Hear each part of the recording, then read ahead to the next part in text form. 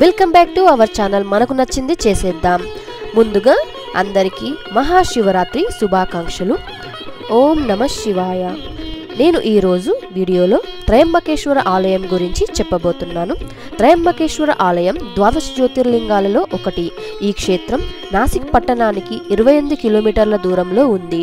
త్రయంబకం లేదా త్రయంబకేశ్వర్ అని పిలిచే ఈ క్షేత్రాన్ని గోదావరి జన్మస్థానంగా పిలుస్తారు. అయితే ఈ క్షేత్రానికి గోదావరి జన్మస్థానం కొన్ని వందల అడుగుల ఎత్తులో ఉంటుంది. త్రయంబకేశ్వరుడు అనగా పరమశివుడు అని అర్థం.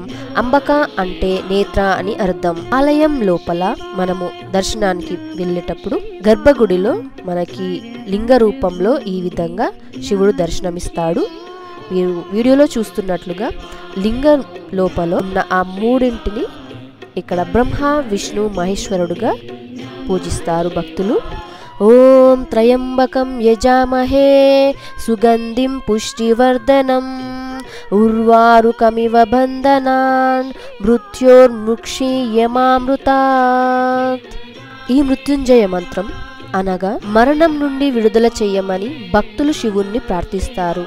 ఈ ఆలయ విశేషాలకు వచ్చినట్లయితే ఈ ఆలయాన్ని పదిహేడు వందల ముప్పైలో ఛత్రపతి శివాజీ సైన్యాధిపతి అయిన బాజీరావు పిష్వా నిర్మించినట్లు శాసనాల ద్వారా తెలుస్తుంది.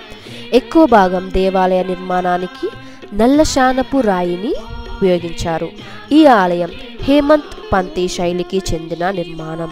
ఆలయం చుట్టూ నిర్మాణం లోపలి వైపు చతురస్రాకారంగాను బయటి వైపు నుండి నక్షత్రాకారంగాను ఉంటుంది.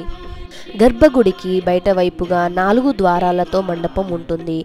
గర్భగుడిలో కల శివలింగం భూమికి కొంత దిగువలో ఉంటుంది. దాని నుండి నిరంతరం నీటి ఊట ఊరుతూ ఉంటుంది. అది దేవాలయం ప్రక్కన కుషావర్తనం అనే సరోవరంలో కలుస్తూ ఉంటుంది. ఈ ఆలయం అంతా కూడా ప్రశాంతమైన వాతావరణాన్ని నెలకొని ఉంటుంది. వీలైనప్పుడు ఒకసారి వెళ్ళి దర్శించుకోండి. ఇదండి ఈనాటి వీడియో. ఈ వీడియో మీ అందరికీ నచ్చిందని ఆశిస్తూ మరొక మంచి వీడియోతో మీ ముందుకు వస్తాను. అంతవరకు సెలవు.